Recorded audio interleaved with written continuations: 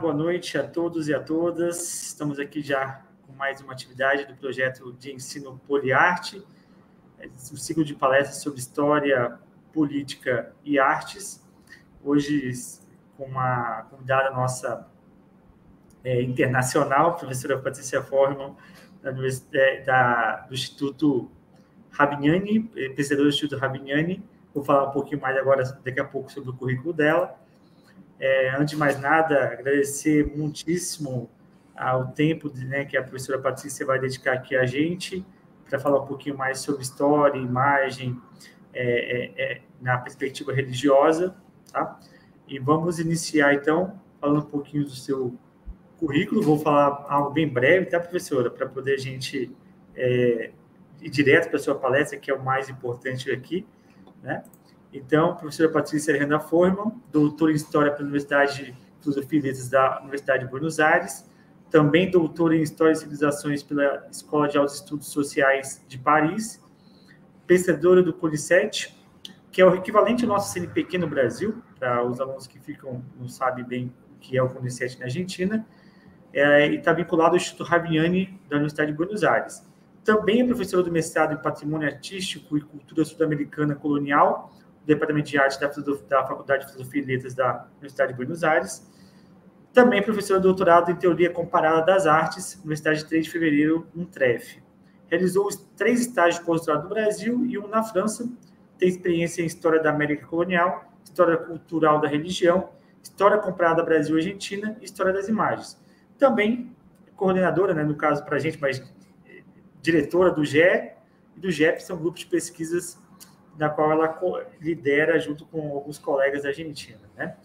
Então, antes de mais nada, mais uma vez, Patrícia, que tenho também orgulho de dizer que é minha amiga e que estivemos juntos em alguns momentos né, em Buenos Aires, também no Brasil, para falar um pouco dos nossos alunos, só para explicar um pouquinho quem são nossos alunos, né? Alunos e alunos, né? alunos.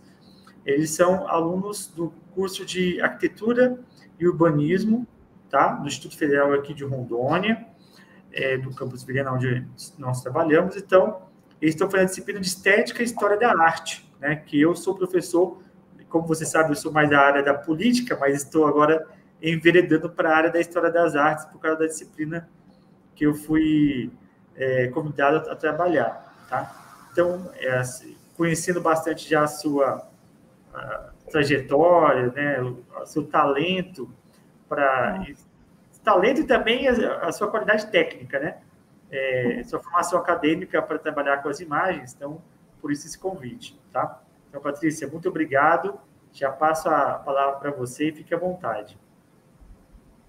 Oi, boa noite. Para mim é um grande prazer aceitar o seu convite, que é sempre muito carinhoso e super interessante, também instigante para pensar conjuntamente as questões que, que eu gosto de pesquisar eu acho em você um parceiro super, super é, sólido, como disse em português, sólido, firme e, e também é, super legal, super carinhoso. Também gosto muito de compartilhar tarefas e pesquisas com o pessoal é, que é boa pessoa, boa gente. Então, para mim é lindo estar aqui com você e ter a oportunidade de, oportunidade de conhecer os seus alunos. É um grande prazer para mim. Eu lembro muito dos tempos que você e eu trabalhávamos juntos na Cátedra de Estudos do Brasil, na UBA, no Vamos voltar em algum momento para fazer alguma, coisa parecida. Quem, quem, sabe agora na área de história da, da arte, que eu estou trabalhando também agora, quem sabe, né? ah, né? Ótimo. É? A gente vai começar a Perfeito. Bom, se você quiser, já posso colocar o seu slide? Por favor, sim, sim. Beleza. Vamos lá. Bom, bem brevemente, eu queria comentar primeiro que eu tenho uma experiência de, de historiadora. Eu vou falar um pouco sobre a linguagem estranha, que é a linguagem impossível, que aqui na Argentina, Buenos Aires, estamos utilizando cada vez mais. E eu vou tentar falar em português. Saiba desculpar meus erros, meu português ruim, que ainda é português, mas eu tenho muita vontade de, de falar alguma vez um pouco português. Está falando muito. Né? Mas, então, vou falar assim estranho, mas vou tentar inserir um pouco da linguagem inclusiva é, para compartilhar essa fala com vocês. Eu tenho uma experiência de historiadora. Historiador é formado em história cultural. eu trabalhei na França sob a direção de um medievalista muito importante, que se chama Jean-Claude Schmitt, discípulo de Jacques Rigaud, e eu tive lá a ocasião de me aproximar a estudos das imagens. Não as imagens eh, dentro do marco da história da arte, senão, pelo contrário, uma imagem, as imagens como fontes, como documentos úteis para serem incorporados à pesquisa dos historiadores culturais. Temos, então, uma busca de, de diálogo, de interface especial com os colegas de História da Arte, mas também na antropologia da imagem.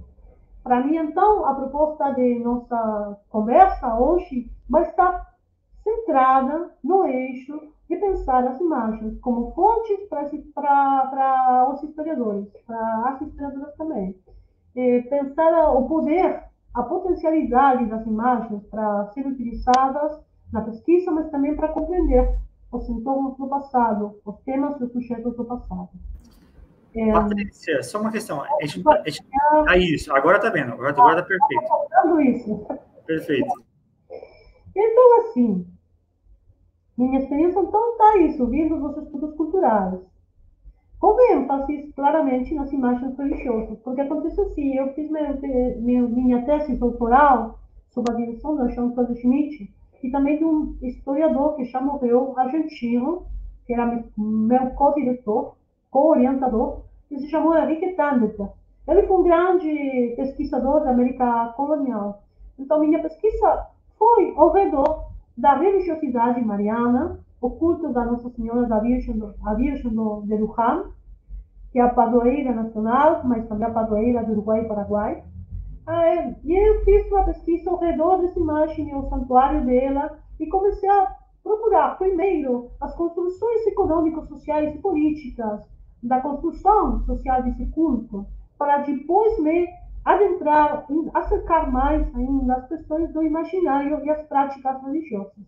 Nessa pesquisa, eu percebi, lá na França, que as imagens tinham um papel super importante e ultrapassei um pouco a moda da época, que era estudar demografia e economia, e me inseri no, no campo estranho na Argentina, esquecido para alguns, eh, das funções das imagens. Claro, eram imagens basicamente religiosas. Então, certamente eu vou compartilhar com vocês algumas bibliografias centrais para a construção do marco teórico e prático para se aproximar das imagens que vai estar muito marcada né, pela história medieval e também a história moderna colonial. É, o propósito que os alunos hoje ficam pensando um pouco as estratégias possíveis para é, se assumar a, as imagens como documentos, como fonte. Para isso, eu vou propor repensar as fronteiras como espaços permeáveis entre disciplinas como a história e a história da arte são, e, e também a antropologia da imagem. Acho que temos que eh, quebrar um pouco a ideia da fronteira como uma coisa rígida e estática para pensar as permeabilidades da fronteira. As visuais, então, como documentos, e desarrollar essas destrezas, desenvolver, descobrir essas destrezas instrumentais para interpretação e uso das imagens. E vou me referir hoje, o tempo vai ser pouco, uma hora verdadeiramente vai resultar um pouco curto o tempo, sobre uns textos que para mim são super interessantes e que vou recomendar vivamente para vocês, para procurar depois é, e para dar uma olhada sobre eles, porque são muito ricos e muito instigantes. O primeiro que vou mencionar é o texto O Poder das Imagens, estudos sobre a história e a teoria da resposta, que foi feito pelo David Friedberg. Acho que tem uma publicação em português. Esse livro tem já muitos anos, foi muito interessante. E no momento foi uma transformação forte nos estudos é, culturais. Tem tempo, mas recomendo vivamente esse livro. É, Roger Chartier é um grande historiador cultural do, da modernidade francesa. Vocês sabem, ele trabalhou muito sobre as formas da leitura e da escrita e a, a leitura coletiva e bom e a construção de um espaço público onde a literatura e a leitura tinham um papel muito importante. Então, acho foi parte de uma espécie de virada, de viragem importante na Argentina, eu sei que em Brasil também, quando ele começou essa, uma turnê eh, falando muito da ideia da representação. Para mim, foi uma motivação muito grande para pesquisar, incorporar o conceito de representação em práticas que o Roger Jacquet trouxe para nosso campo de estudos. Ele foi quem, para mim, acercou a um autor de história da arte muito, muito interessante, que é Maran. É, Maran é, tem um texto super, super interessante sobre o retrato do rei, o rei morto. As representações do rei, que finalmente vamos falar depois disso, é a conjunção do poder na materialidade e a, e a representação imaginária do poder. Então, o que sucede, o que acontece quando o rei é morto, quando o rei morre, e bom, o retrato dele, o catafalco, o, todo o cerimonial, todo o protocolo ao redor da imagem dele, é, durante o interregno, que o próximo soberano vai ser é, coroado, esse momento é que, para Maria, é muito, muito interessante para pensar o papel da imagem do rei e a representação dele, a sua legitimidade e o poder dele. É, acho que a partir desse trabalho de Maré, você Chartier vai desarrollar os trabalhos super instigantes que a gente conhece.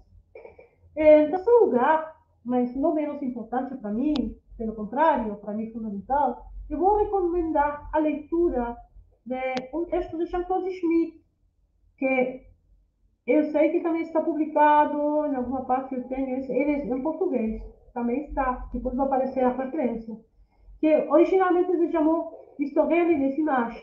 É um texto do Chantal Schmidt, eu falei, meu antigo diretor de doutorado, medievalista, é, que está feito uma parte em francês e também está publicado em alemão, em espanhol e em português. Mas o livrinho era bem pequeno, mas super instigante, porque dava nesse, livro, nesse pequeno livro as chaves fundamentais, as dicas centrais para um historiador, uma, uma historiadora, se aproximar às imagens e é, tirar é, informações, conteúdo, ideias, poder interpretar, sem ser historiador da arte, sem ser historiador, historiadores da arte.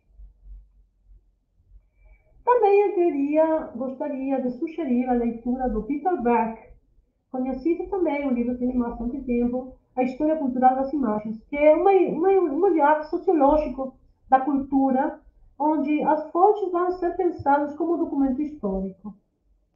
O trabalho de Hans Wetting também foi muito importante, é, ao redor da antropologia da, ima da imagem e pensar as categorias da arte antes da arte. Bom, eu não vou ter tempo, com certeza, porque uma hora vai ser muito pouco, mas eu, vou, eu estou com vontade de deixar a vocês com uma curiosidade sobre mais materiais que podem ser buscados, indagados, procurados, para pensar as questões da imagem na América Latina colonial, na imagem na Ibero-América colonial. O poder das imagens, é, para mim, é, tem dois textos que são super interessantes. O Sérgio Lucinski, é, o trabalho de, da Guerra das Imagens, que foi super, super conhecido, muito impactante, onde ele tinha um olhar de longa duração que instigantemente, provocadoramente falava de Cristóbal Colón até Runner. E, mas acho que esse para mim foi um trabalho que mudou muito minha forma de pensar, de pensar o passado colonial, pensar a conquista, que sempre estava centrada em questões políticas e do uso das, estratégias militares, o, o impacto desestruturador, desestruturante da mortandade, da, da mortalidade, das epidemias, das pestes, da violência, da violência. Também a inserção do, do religioso na constituição da nova sociedade colonial, colonial, mas a partir do texto do Sérgio Sinski, eu consegui pensar nas imagens de um outro jeito. E um texto também que eu gostei muito para construir meu marco teórico na, na época eh, da tese doutoral, praticamente na mesma época que eu fiz minha, minha tese doutoral, eu defendi minha tese no ano 2003, É, depois sai o livro, vai sair o livro da Gabriela Siracusano, que é uma grande pesquisadora argentina, ela vem da história da arte, é uma experta, verdadeiramente uma pessoa de, de excelência, ela pesquisa sobre a materialidade das imagens. É, a tese doutoral dela, que é um belo livro publicado pelo Fundo de Cultura Econômica, é, pesquisa sobre é, as imagens do espaço andino colonial, que é muito interessante porque tem a questão de ver a produção das imagens, a circulação dela, delas no espaço, a influência das gravuras que vêm da Europa e ainda mais longe até a América, a presença dos materiais que circulavam também no planeta, não? no mundo que estava se globalizando, estava se, como dizer, integrando de algum jeito através do comércio, mas também na conjuntura onde as imagens vão ser super complexas, porque vão estar na encruzilhada do mundo hispânico com o mundo indígena. Então, na construção de uma sociedade mestiça, como a do Peru colonial, vai ter muita marca do papel das imagens e a materialidade e a representação dessas imagens. Então, gosto muito do trabalho de Lucila Cussano. Bom, também posso recomendar mais bibliografia para buscar essas funções coloniais, um texto que fala das huacas. Huacas é um término andino que refere a antigos eh, deidades, potências religiosas, eh, dentro dos, de, algumas, de alguns objetos as huacas são um pouco os ancestros, os antigos parentes, familiares, mas também são, são, são representações de um poder sagrado eh, que as pessoas no mundo andino cultuavam. Então, uma huaca podia ser, e a Cira Custano explica também como abobício, podia ser um tote, uma pedra, uma, um, um, uma boneca, uma estátua, um, um tecido, mas também podia ser um rio, uma montanha, um vulcão. Então, Waka é um conceito que, para extirpar as idolatrias, foi central no processo de evangelização do mundo andino. Eu gosto muito também de pensar, então, essa materialidade das Wakas através do, do, trabalho de Maria Lavovici, e por isso que eu gosto de apresentar um pouco perto do texto da Siracusano, porque acho que tem uma continuidade entre as pesquisas das duas. É, depois, outro texto que eu gosto muito, que vou, vou recomendar, é o texto do Georges Duberman. Georges Duberman é um pesquisador francês que mistura um pouco a filosofia e a história da arte e vai apresentar uma tese verdadeiramente provocativa para nós, pelo menos para minha geração, que foi formada assim um pouco com a influência do, do materialismo histórico, da, a gente aqui na Argentina falava da escola dos anais, é, na história italiana. Mas, sobretudo, para contrariar aos grandes pais fundadores, grandes pais fundadores da escola dos anais, quando falam de que anacronismo era quase um pecado. Lembra? Bom, interessante porque Jorge Lieberman vai nos enfrentar, não vai nos confrontar com a ideia de que o anacronismo, que o anacronismo é inevitável e que justamente as imagens antigas são a prova explícita de que o anacronismo continua e que a gente tem como pesquisadores aceitar a permanência esse objeto, esse sujeito tão importante para um pesquisador muito relevante que eu não posso deixar de mencionar, que, que Abibarbo, Abraham Barbo, essa permanência, essa supervivência das imagens são a prova central de que o anacronismo é um fenômeno que os historiadores devemos analisar, aceitar como um dado e analisar. Porque anacronismo significa que é um desplaçamento, um deslizamento do passado no presente, com diferentes momentos. E as imagens, muitas delas, tem vida muito mais longa que as pessoas.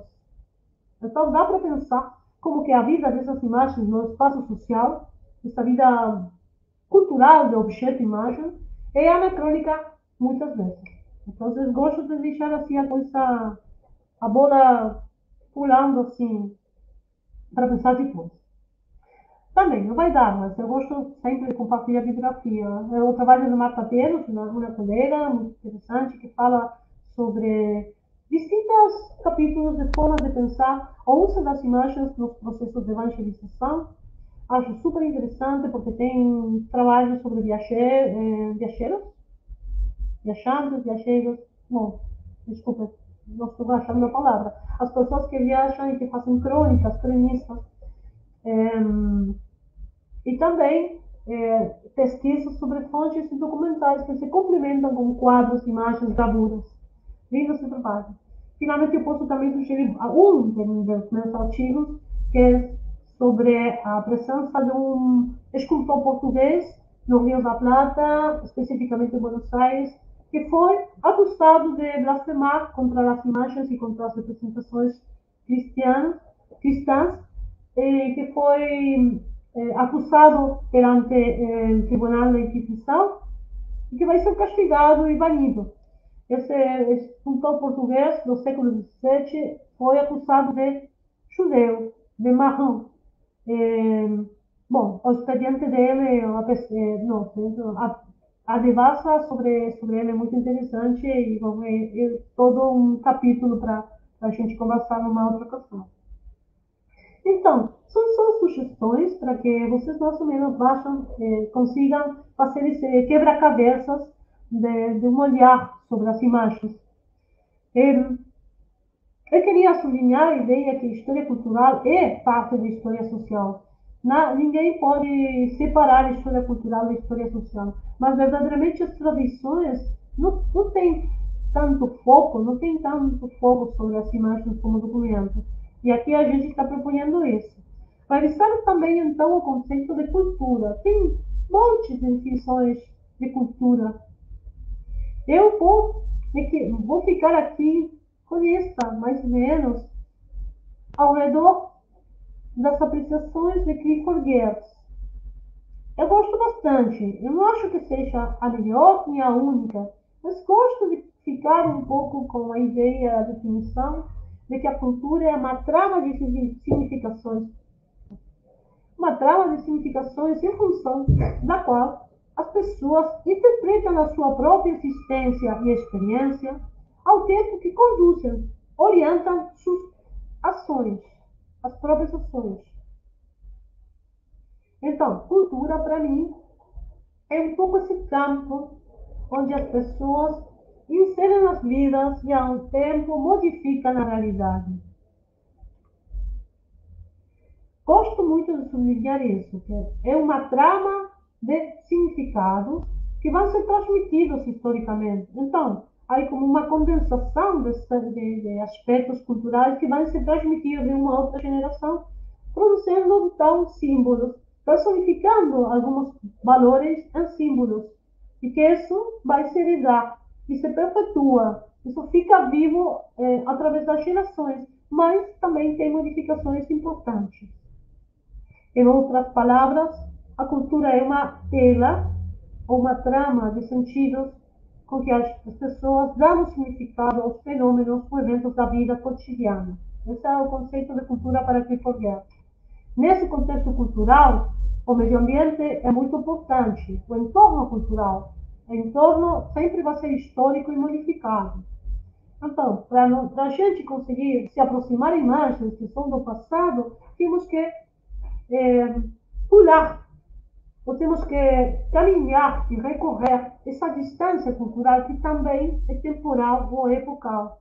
Por quê? Porque a gente tem muitas vezes que se é, aproximar imagens de uma sociedade que já não está, que já não é, e temos parecidos é, indiferenças, mas também temos que caminhar para trás no tempo, e isso para a gente é uma distância que não só é, é, tem, tem a ver com o conteúdo dos documentos, tem a ver também com essa possibilidade de olhar e de compreender o passado.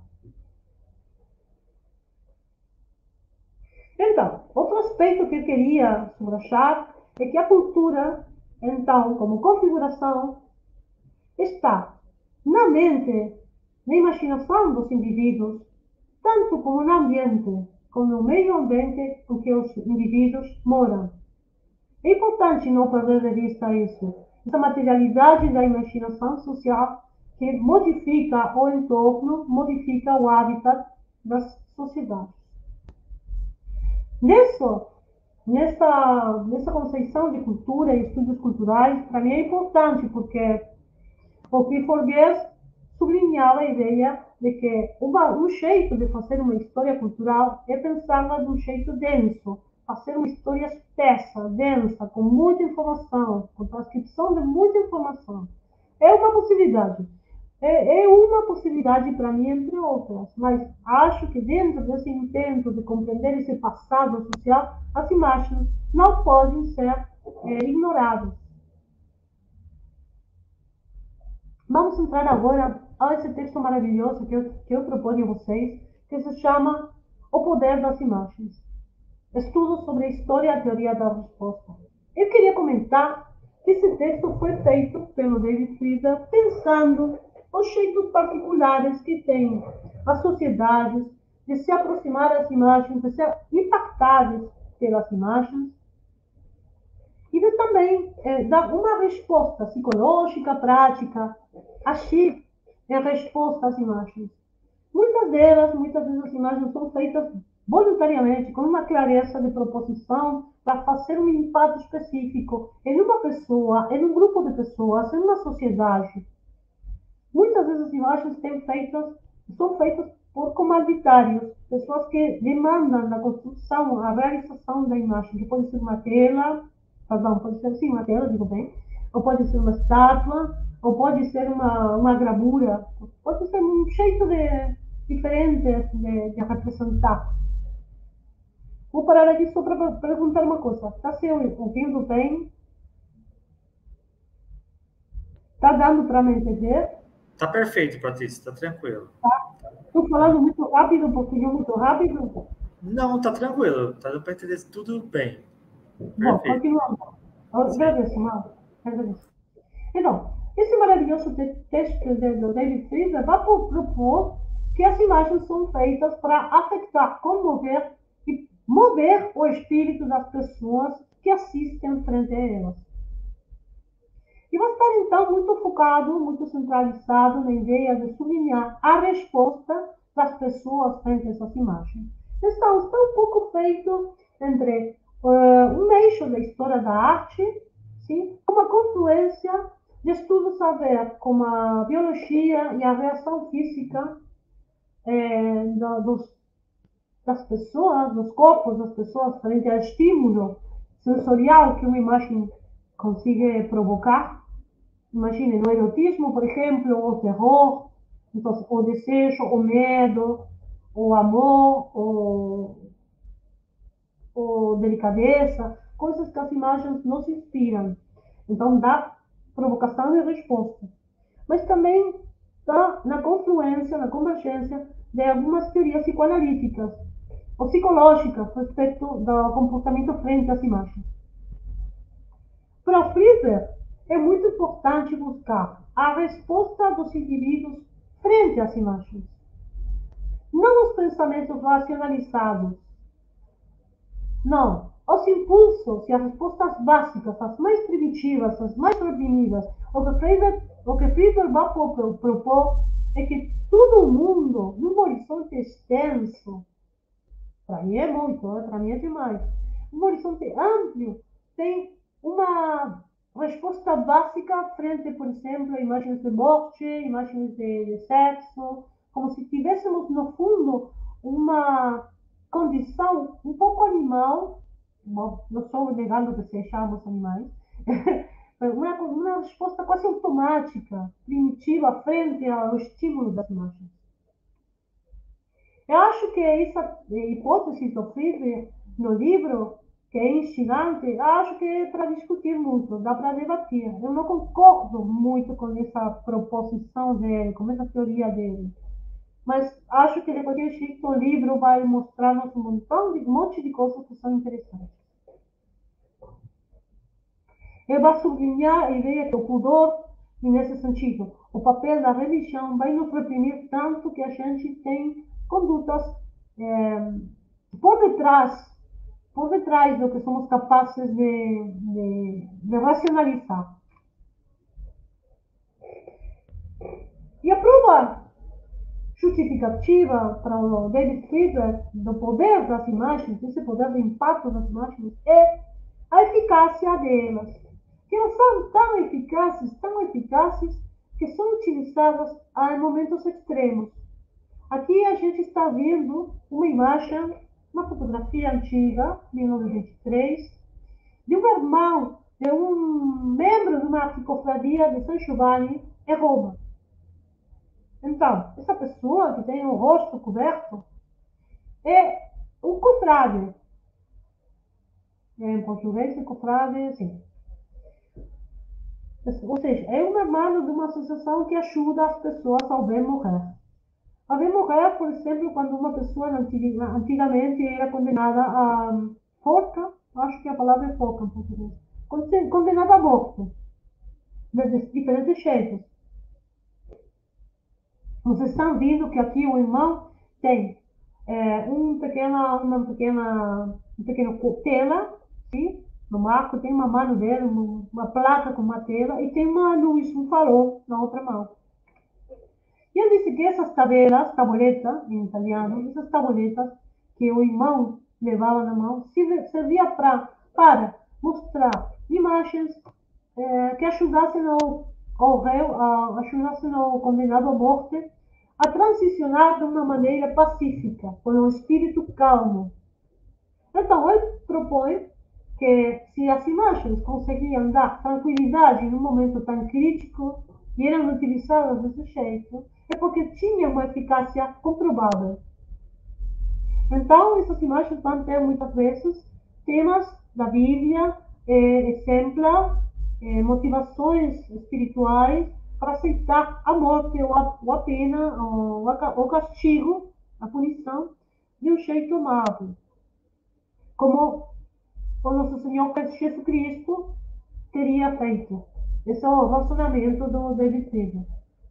Então, essa utilização, esse exemplar das tabuletas, demonstra para Friedman a eficácia e o poder das imagens.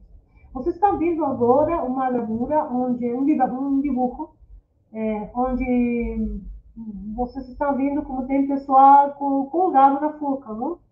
É, condenado morte e, e como essa pessoa está subindo é, a escada e o irmão está mostrando a tabuleta como uma imagem edificante, uma imagem é, para o bem morrer.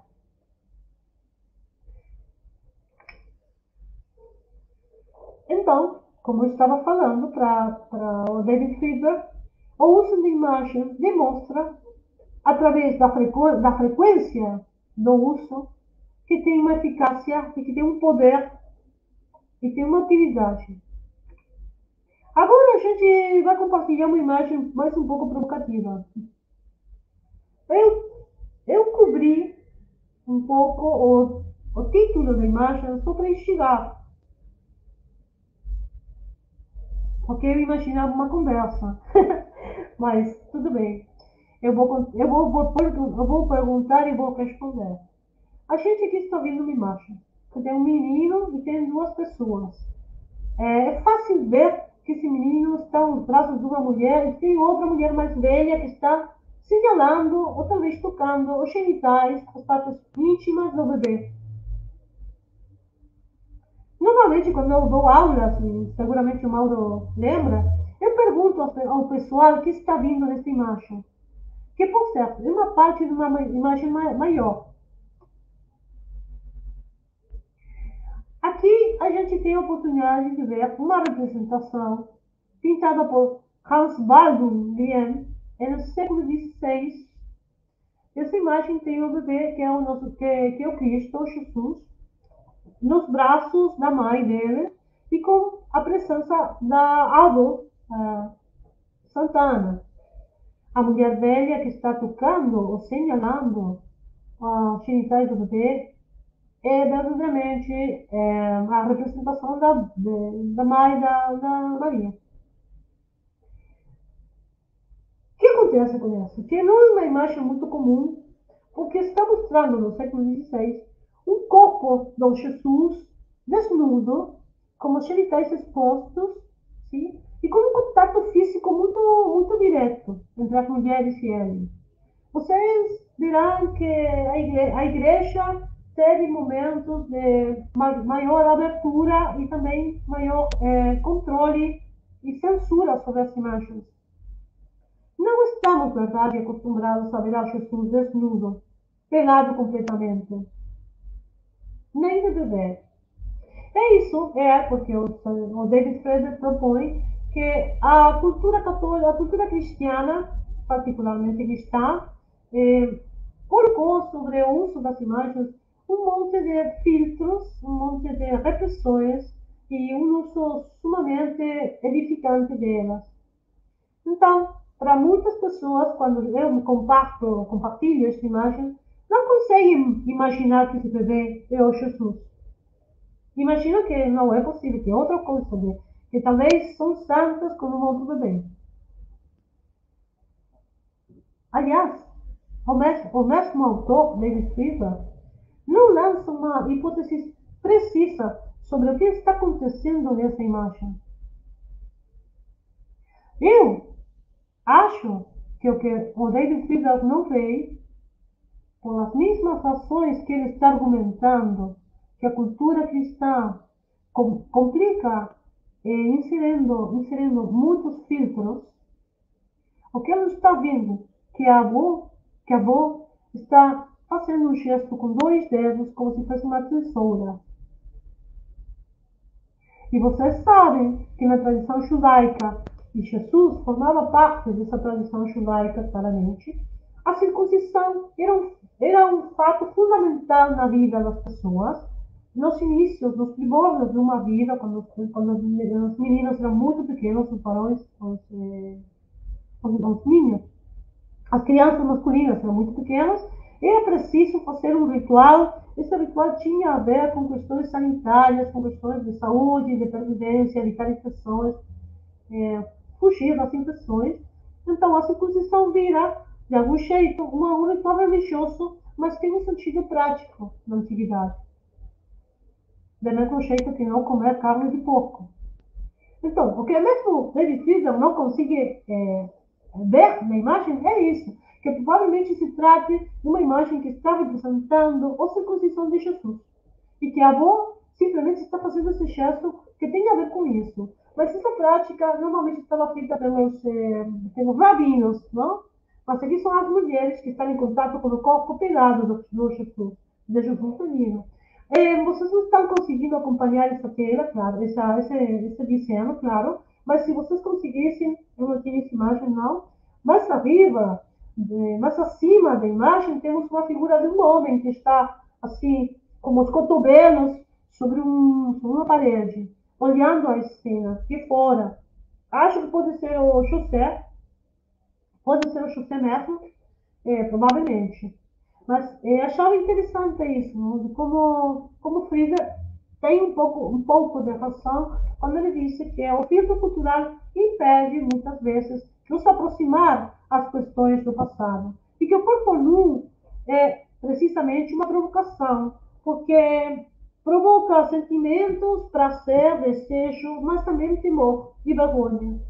Ele fala muito da ideia que os corpos nus das mulheres foram muito trabalhados, muito mais mostrados que os dos homens, mas que quando isso pode ser eh, proposto pela artista, pela artista, normalmente eram artistas masculinos, os que conseguiam mais sucesso, para entrar nos, nos museus, vai ser uma representação com certas características e vai estar muito pautada, vai estar é, de um jeito combatida um pouco abstrata, com características muito gerais, gerais que conseguiram ser aceitadas pelo bom olhar da sociedade.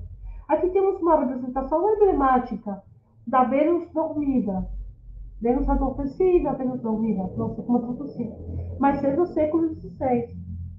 E essa, essa obra, como vocês estão conseguindo ver, é muito respeitada, muito bem recebida. Mostra uma imagem de uma mulher pelada, é, calma, com um espírito sereno, sereno, tranquila, numa paisagem, numa paisagem bucólica e campestre.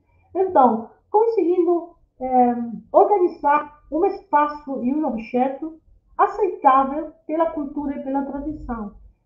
Mas, se vocês vão para uma ideia central, construída pelo Adi Warburg, pesquisador alemão judeu que teve que emigrar durante a época do nazismo para Londres, pela percepção dos judeus. Adi Warburg é um grande historiador da arte, que trabalhou várias temáticas. Uma, das contribuições centrais do Adi Warburg, eu mencionei antes, se chama o Patos Former.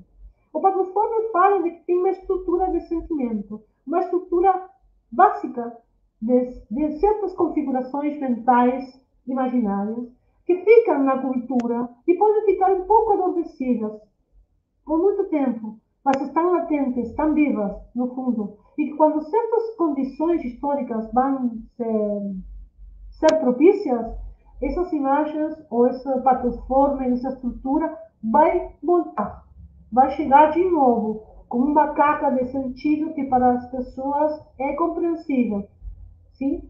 Como se fosse uma estrutura de sentimento latente que pode se ativar quando as, as conjunturas precisam. Então, para para um, Shorty Lieberman, por exemplo, essa ideia da Vênus dormida vai ser uma representação do corpo feminino e vai ser uma representação da, da, da forma de mostrar a tranquilidade e compartilhar uma ideia que de outro jeito seria insuportável, por exemplo, para a censura católica.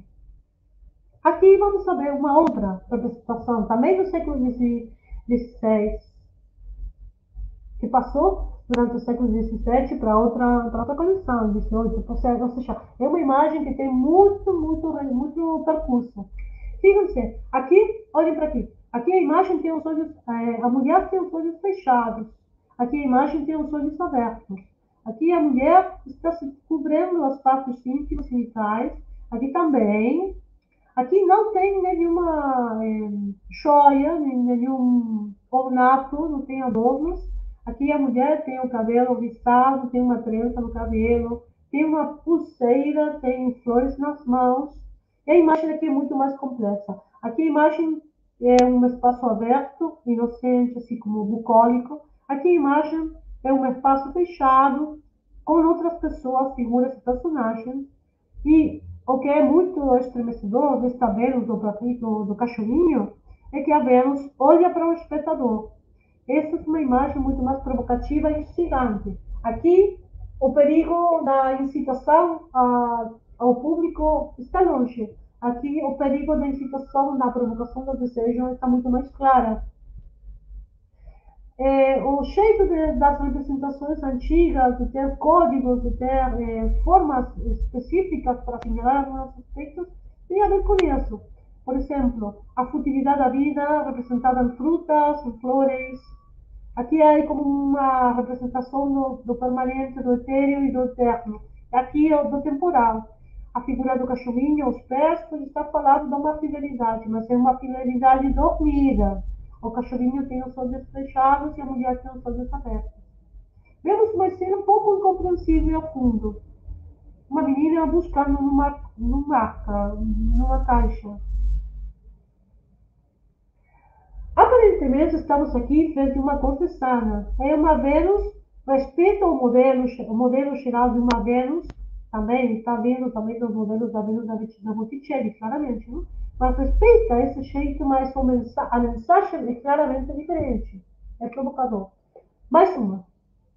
Também, com o mesmo, com o mesmo tipo de apresentação do desnudo, a gente se encontra aqui com uma imagem do século XIX, que é muito parecida assim, em estrutura com a anterior.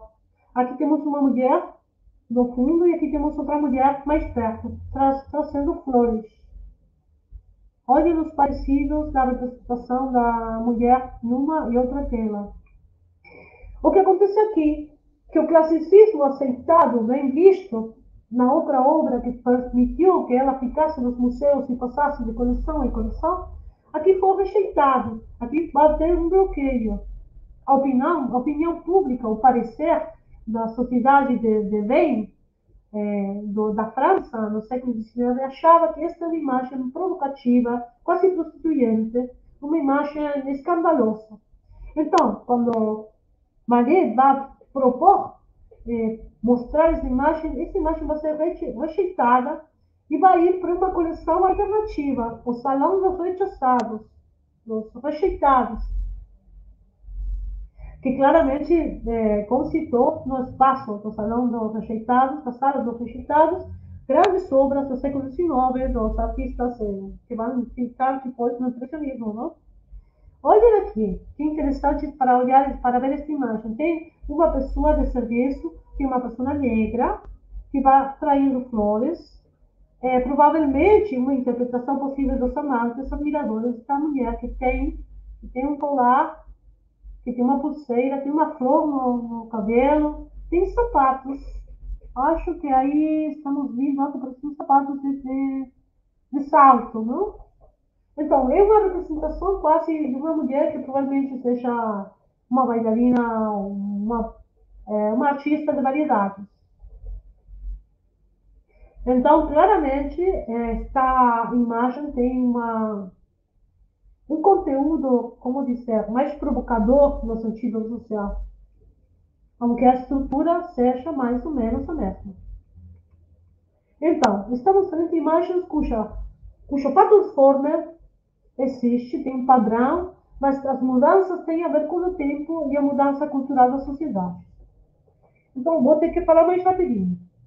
O filme propõe, então, prestar atenção aos aspectos fenomenológicos, psicológicos, ver séries das imagens, realizar encuestas, encuestas seria como entrevistas, não, não sei a palavra em português para encuestas, mas é quando você tem um formulário e vai se acercar ao público frente a uma imagem e perguntar, interrogar o que eles acham, como, o que gostam, o que não gostam, o que, parecem, o que pensam, o que acham das imagens.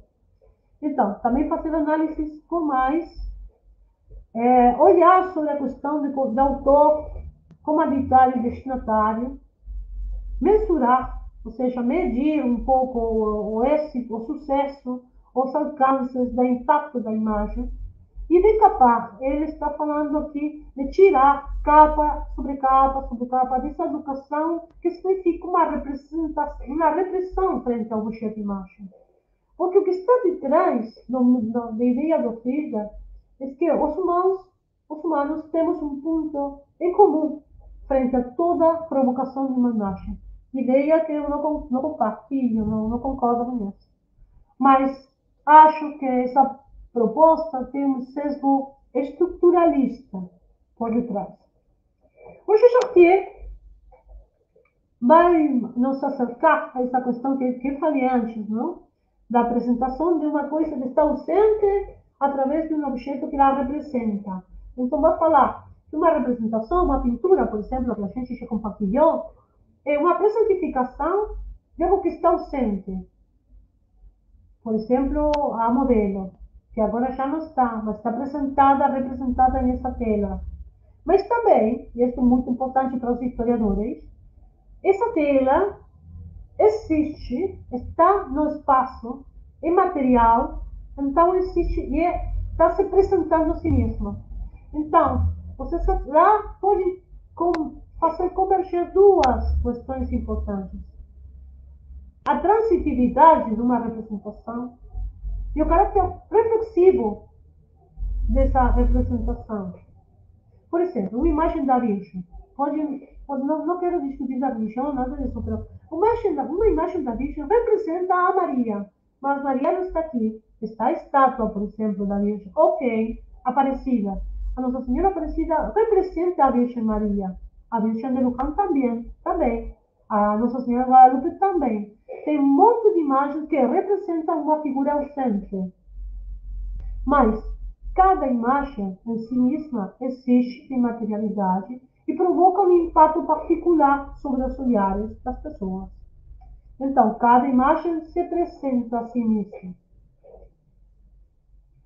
Eu trabalho muito sobre a questão das imagens e a presença delas, porque ao redor dessas imagens que existem, que estão, que a gente utiliza como documento, como fonte, temos uma trama uma, uma tela, uma rede de significações sociais que vão mudando. Por exemplo, Nossa Senhora Aparecida tem uma vida muito mais longa que todos nós. Um objeto que existe lá que passou por uma história muito longa, muito mais que nós. Então, o, o desafio para os historiadores é conseguir restaurar a informação da história que viveu ao redor dessa imagem, o papel da imagem nos tempos passados. Como isso marca também a construção da legitimidade desse objeto no presente. Visualidade, retórica, configurações históricas, ideológicas, práticas são fundamentais para compreender a institucionalização do poder político, religioso, mas também das imagens mesmas. Vou passar rápido, sim? Porque estamos com pouco tempo. Eu sei que estamos fechando. Aqui temos algumas representações do rei da França, não? Como o rei vai ser representado como um deus Apolo, vai ser representado com sua família como se fossem musas, é, cortesanas, cortesãs. O rei, assim como uma espécie de héroe de Apolo, triunfante. E, finalmente, como vai ser representado morto, sim? É, condensando a legitimidade do poder dele nessa pedra que vai acompanhar o corpo até que seja reemplaçado por um outro rei no espaço. É uma imagem super interessante, mas não vou poder deter-me agora porque é preciso continuar. A questão, por exemplo, da Eucaristia nos vai enfrentar justamente com uma complexidade da representação do corpo de Cristo e das hierarquias do, do, do cristianismo e do catolicismo em particular. Aqui temos uma representação de um debate. Amaria analisar com vocês esta imagem super rica, mas eu quero passar a umas outras coisas antes de que o tempo acabe. Mauro, ainda tenho um pouquinho mais de tempo ou acabamos aqui? Não, Patrícia, tem mais minutinhos ainda, uns 10 minutinhos aí. 10 minutinhos, vou, vou aproveitar. Bom, eu não queria passar sem compartilhar com vocês algumas chaves de, de, meu, de meu antigo orientador doutoral, que é um grande historiador. Aí tem o título em português, O Historiador e as Imagens, o Corpo das Imagens, imagens que foi um livro muito lindo que ele sacou aqui, lá no Brasil.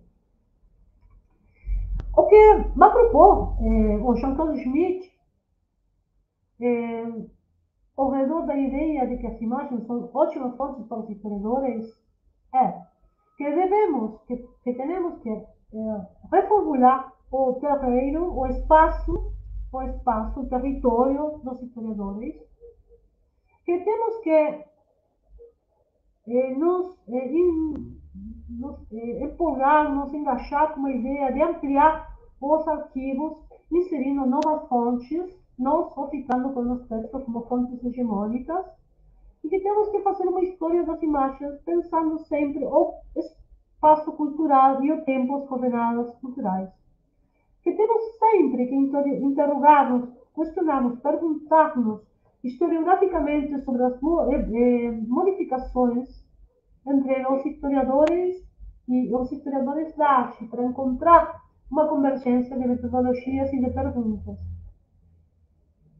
Porque sempre que pensemos em problemas, sempre que pensemos em imagens, temos que tentar inseri-las em problemas históricos, em temáticas, em temáticas problemáticas que, que permitam explicar alguma coisa. Não usar as imagens só como adorno, como figurinha, como figuras de ornamentação, senão, pelo contrário, como documentos ricos para, indagar. O Schmidt vai sublinhar a ideia que a imagem é, é o real. Uma imagem é a realidade e também faz realidade, porque uma imagem pode impactar tanto numa sociedade. Imagina, a cruz, por exemplo, não sei, a Susana, o Passo dos Os objetos, imagens podem impactar tanto, tanto que podem modificar também, como instrumento, uma cultura. Então, temos que dar uma olhada sobre a totalidade da forma de imagem, indagar sobre a estrutura e, fundamental, pensar o funcionamento e as funções. Funções. Porque as imagens têm mais de uma. Outro aspecto para ter em conta, mais técnico, e com certeza aqui os colegas da parte de, de estudos eh, de arquitetura têm muito mais clareza para isso, vou passar rápido, é a ideia do ponto de fuga. Para Jean-Claude Schmitt é central reconhecer o ponto de fuga da imagem que a gente quer analisar, porque permite construir o posicionamento do sujeito. Não só da mensagem que foi é, construído na, no momento da realização da imagem, mas também essa forma de ver que o autor a autora teve sobre o objeto que quer representar. Aqui temos imagens de ponto de fuga. É, outra coisa central é abordar a imagem de um jeito que não seja inocente, que não seja ingênuo, que sempre saiba que as imagens não são neutrais.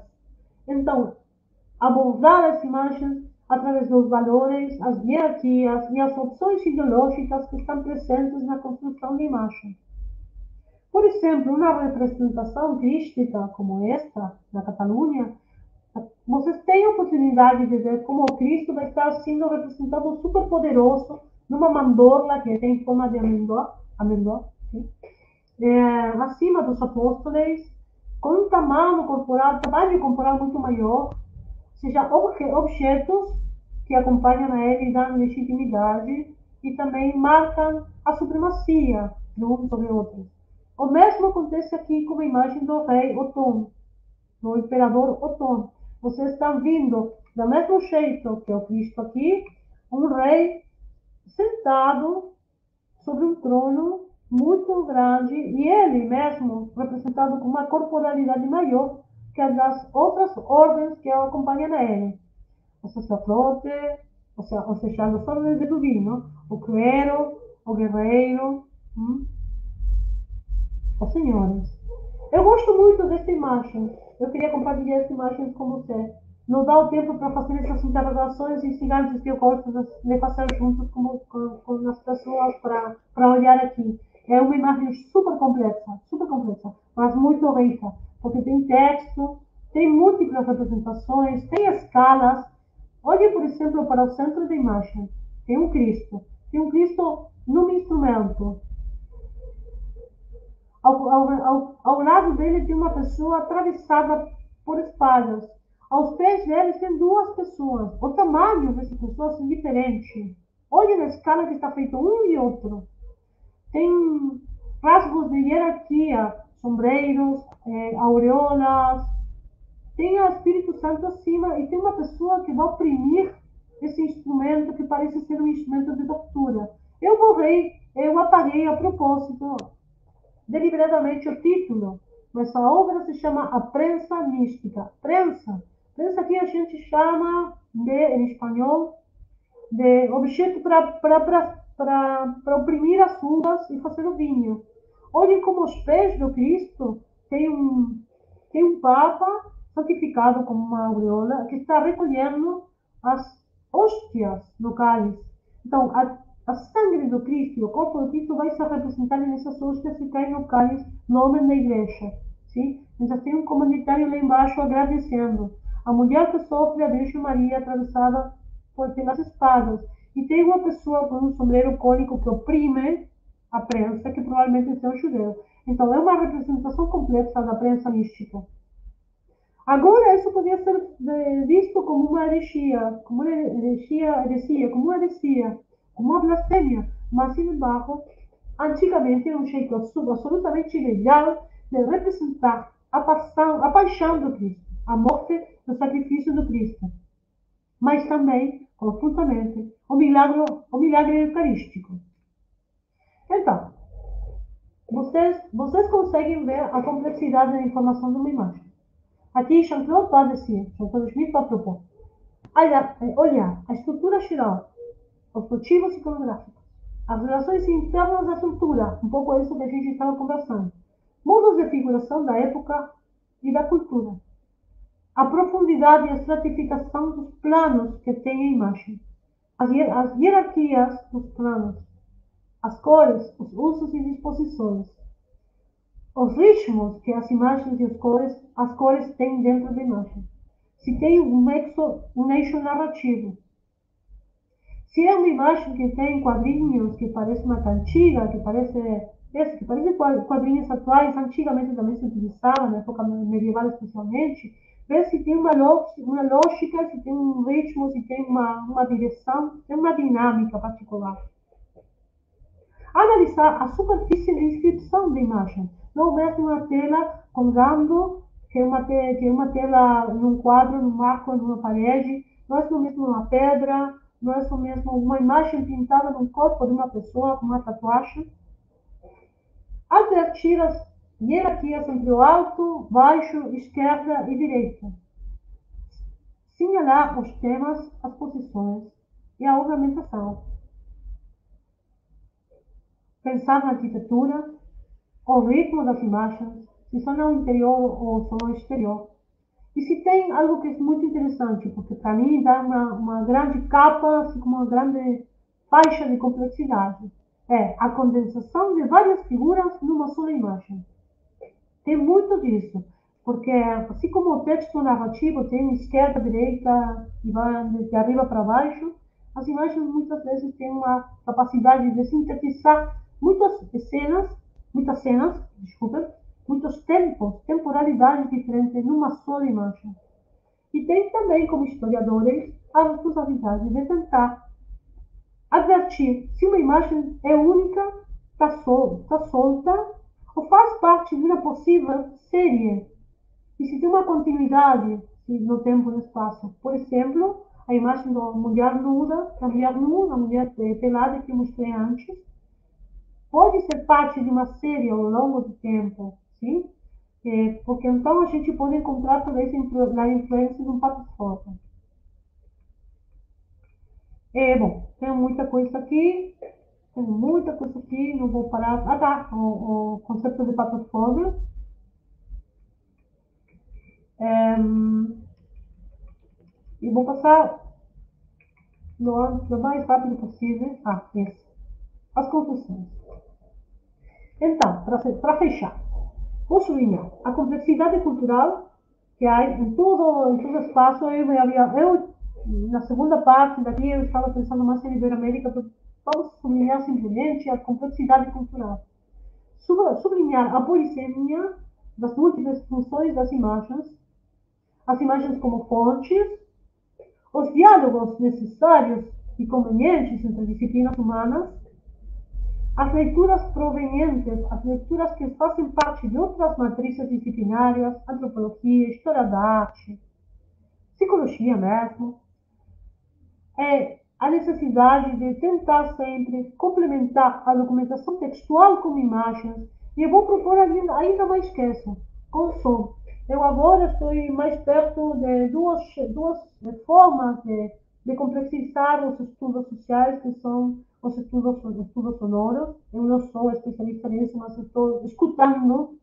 Eu estava, olhando para lá, eu estou escutando para lá, porque também o som é, e a escuta fazem parte de um jeito muito peculiar de formar e conformar uma cultura.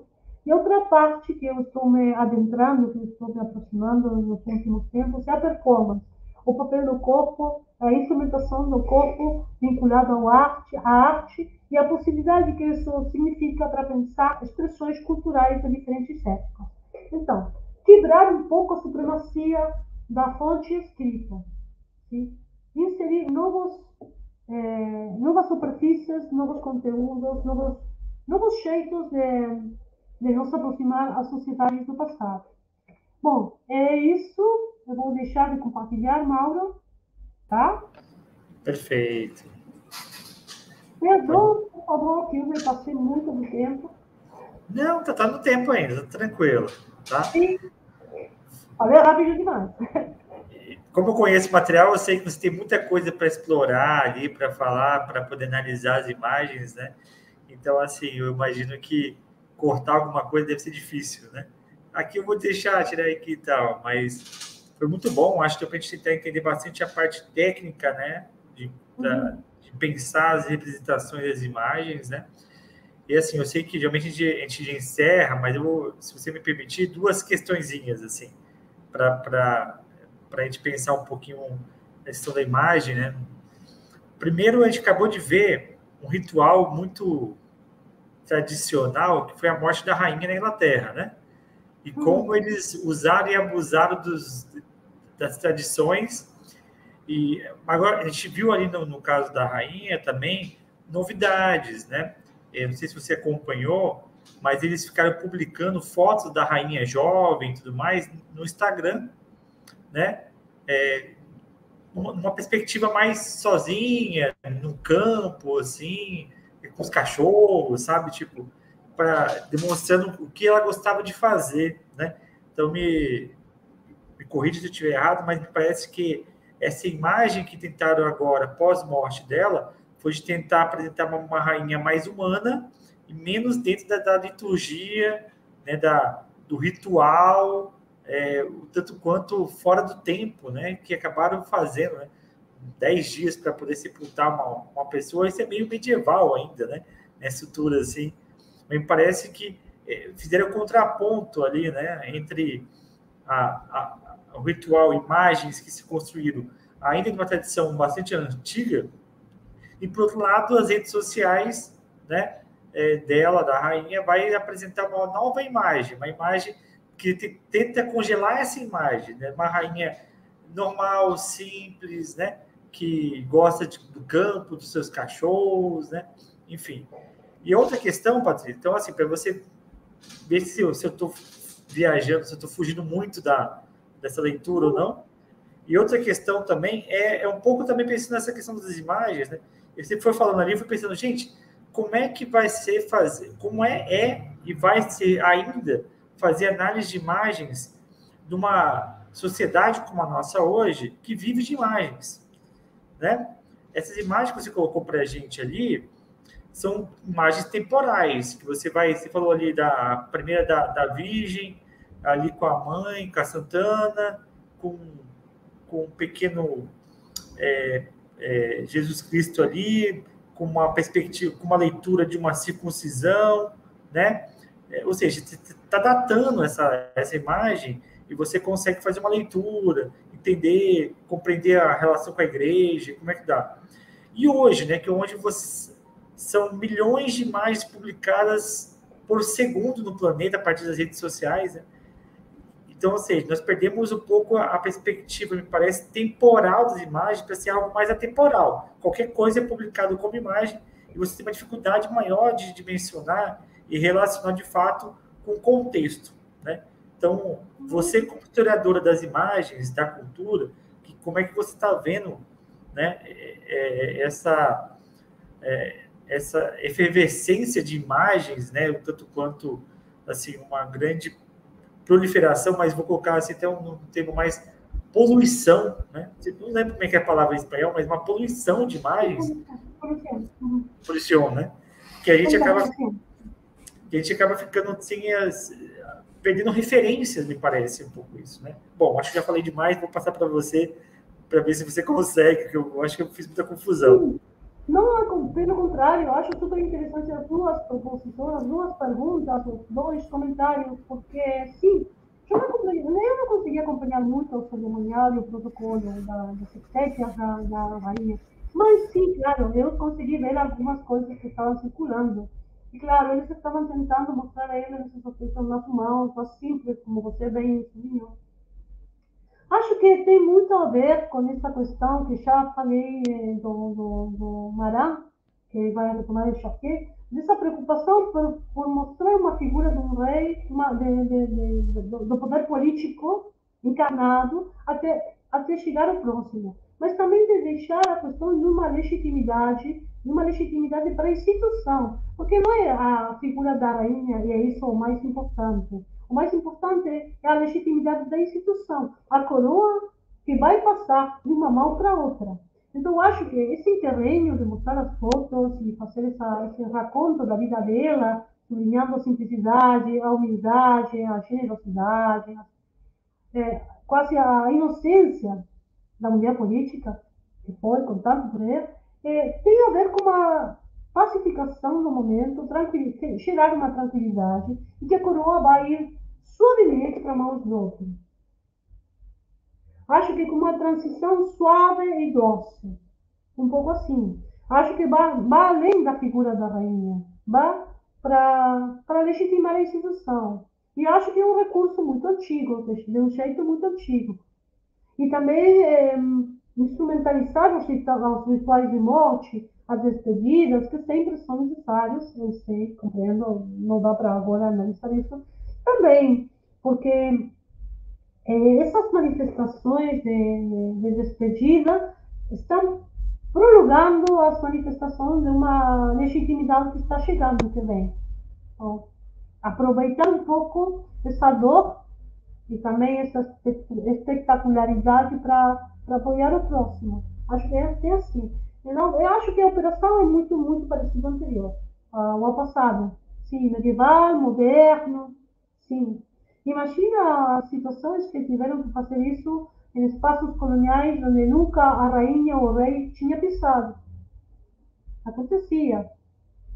Imagina, na Argentina mesmo, estou pensando num exemplo que é bem polêmico, quando a Eva Duarte de Perón, a Evita, morreu, no interior do país também fizeram representações da morte dela. Então, em Buenos Aires, uma, uma época muito difícil, tinha um monte de pessoas que desfilavam para se despedir do corpo da Eva. Mas no interior também fizeram a representação do funeral, do funeral. Então é um recurso, não? Falar da morte, das imagens da morte para fechar politicamente algumas questões. É, sobre a materialidade, ah, sobre a superprodução de imagens no mundo contemporâneo, acho, como você, que estamos frente a um problema. Acho que o Roger Japin já tem falado muito nos últimos anos nas, nas palestras dele sobre a questão do, texto escrito e a, e a virtualidade. Acho que isso impacta também nas questões das imagens, porque, como você bem falou, muita coisa agora passa rapidinho pelo videoclipe, antes, agora pelas histórias do Instagram. Claramente, isso é coisa que os historiadores estavam esperando. Mas nós mesmos, quando tem que buscar um texto importante, um documento que a gente copiou num arquivo antes, acontece que estava no suporte material, um disquete, alguma coisa, um suporte que já não é, não consiga ser leído pelos nossos computadores. Então, é informação que perdimos. Por isso, a materialidade ainda tem que ser importante, tem que ser muito, muito cuidado. Tem que ter recursos para a patrimonialização das imagens e outros jeitos de documento. Mas também acontece que, olha, meu mesmo, minha mesma trilha vai para outro sentido. Eu pesquiso sobre imagens e vocês bem, bem sabem, mas agora estou pensando nas outras formas de complementar isso, que é o som, que é a, que é a performance, outras expressões da cultura, porque acho que isso, que não são só as imagens, é o único documento que a gente tem que preservar. Então, talvez, talvez se conseguimos ampliar o arquivo e nos concentrar nisso, podamos ter um pouco mais de material para o futuro. A gente que trabalhou em história colonial, convivemos muitas vezes com essas lagoas, com essas pérdidas, ou perdas, pérdidas, sim, nas séries. Eu sou é, super acostumada a trabalhar com, com, com buracos, com furos, assim, em uma, em uma série. Que faço com, muito tempo eu trabalhei com Doni. Mas agora acho que a superprodução de imagens vai deixar também um suporte hum, variável, mas vai deixar material vai deixar. Mas outras coisas que estão acontecendo, que estão. É, é, faz pouco tempo eu estava tomando umas aulas de. Deve que a gente continua por falta de tempo. Era umas aulas de poesia é, visual. Minha professora falava que agora estão se produzindo muitas imagens em sentido vertical, porque a gente faz tudo assim com o celular. Então, você tem filmes que para poder compartilhar no Instagram ou um cartaz mesmo tem que ser vertical. Então, as imagens que vão ser fotografiadas ou vão ser, sobretudo, filmadas, perdem a perspectiva, perde o horizonte, então perde informação para focalizar em uma parte muito pequena. Sim? Isso acho que vai impactar fortemente nas na forma de olhar e de pensar o mundo dos jovens que estão se formando nesse, nesse sentido. Antes, a, depois da modernidade, a perspectiva, não? as pessoas tentavam ter um olhar o mais abrangente possível da realidade, uma fotografia, uma paisagem. Mas agora é só um pedacinho, vertical. Estamos num problema. Acho que estamos num problema. O capitalismo nos está é, puxando, está nos, nos levando a uma situação de, de isolamento e também mental. Utilidade é, é, estreitez, ocultamento da, das miras. Perdona a oportunidade, eu sei que estou falando muito ruim.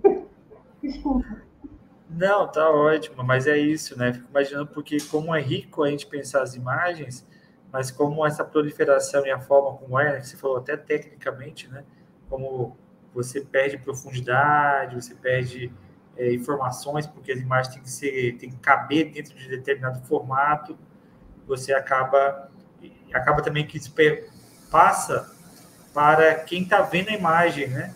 Na, na, leitura que vê, antes você via uma, duas imagens, cinco imagens, dez imagens, depende da revista, do jornal, né? Agora você vê isso em segundos, né? Na lógica do jogral, do Instagram, que você vai passando como se fosse um jogo clicando, né? Então, eu imagino um pouco isso, né? Como como é, por exemplo, analisar imagens religiosas mesmo nos dias de hoje. Né? As uhum. imagens que são, que são, produzidas hoje. Né? É, enfim, é, é, é, um desafio né? pensar, é. porque você já não tem mais a mesma lógica de antes, de, de ter que espalhar informações de uma maneira muito mais rica. Né? Hoje você pode fazer isso com um volume grande de informações, né? de imagens. Enfim. É uma, essa é uma questão para um outro momento, para uma outra discussão, né? Bom, Mas... acho que também é momento, Mauro, de pensar nas pesquisas eh, grupais, trabalhar em equipes, não? Em equipes. Sim.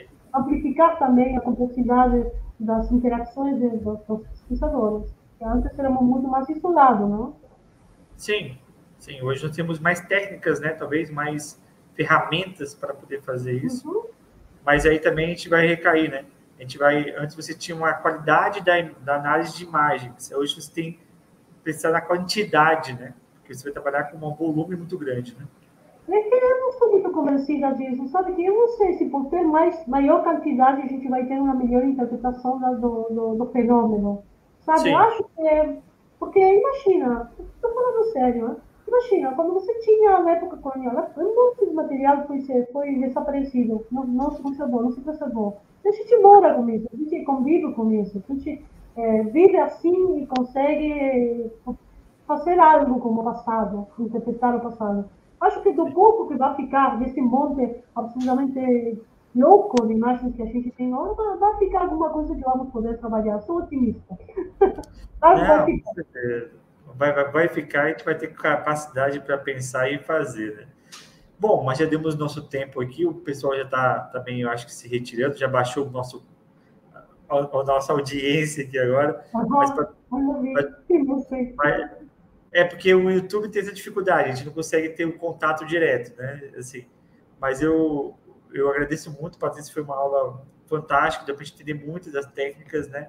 Até é, algumas questões que você falou, eles já apresentaram trabalhos também para a gente, então, ou seja, é, e você enriqueceu ainda mais a, a, importância de entender a imagem, entender a arte como uma leitura humana, né, como algo que nós produzimos, né? Tá? Hum. Muito obrigado, Patrícia. É, vamos encerrar por aqui, tá? Tchauzinho para o pessoal. Você para mim, agradeço muito o teu convite. Muito obrigado.